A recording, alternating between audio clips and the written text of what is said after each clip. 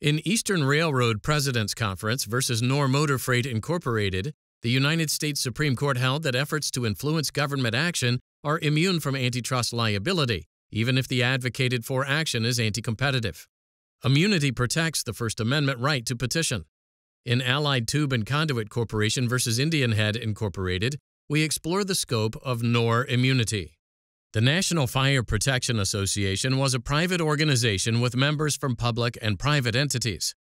The association published the National Electrical Code, which established product standards for electrical wiring systems. The code enjoyed widespread use in the private sector and was often adopted by state and local governments.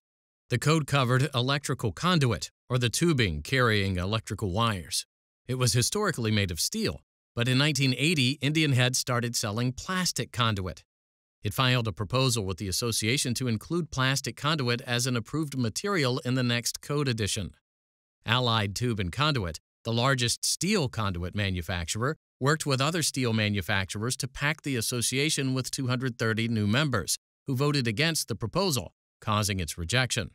Indian Head sued Allied, alleging that Allied violated the Sherman Antitrust Act by conspiring to unreasonably restrain trade.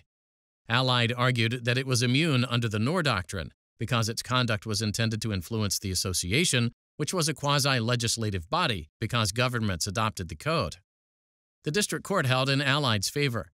The Second Circuit reversed, rejecting the association's classification as a quasi legislative body. The United States Supreme Court granted cert.